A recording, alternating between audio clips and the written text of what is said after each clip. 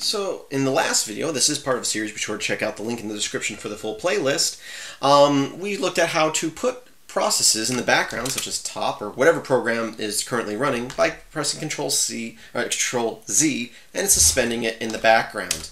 Now, let's say you want to you know throw a process in the background to have it keep running, uh, but continue with another command.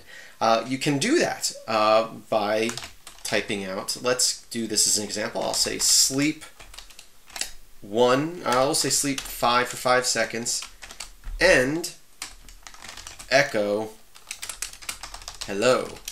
So it should, if we were to do it this way with a semicolon, which indicates a new command, it's going to wait five seconds, and then after five seconds, it's going to echo out hello. I almost said hello world, just hello in this case. But if we do the ampersand, the and symbol, it's going to right away throw the sleep command into the background, and then it's going to echo hello without waiting for the sleep command, and then after five seconds, the sleep command finished, as you can see.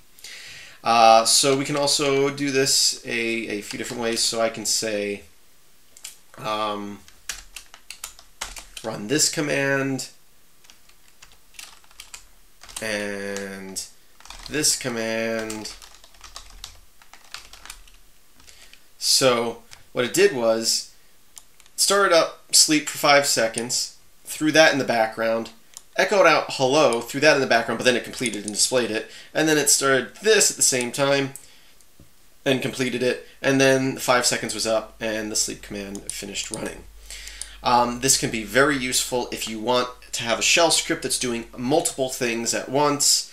Uh, you can continue running processes in that aspect. And again, it still does give you the foreground number, which you should be able to uh, pull to the foreground. Um, let me see something here. Let me just say one minute here, foreground one. Yeah. So again, as I said in the previous video, I'm having issues with my Z shell setup. But in Bash, if I was to run the same command, I'll highlight that and paste it in by center clicking. I should be able to foreground one, and it brings me back to my sleep command. That's how the foreground command, the FG command, is supposed to work. So, as always, I thank you for watching.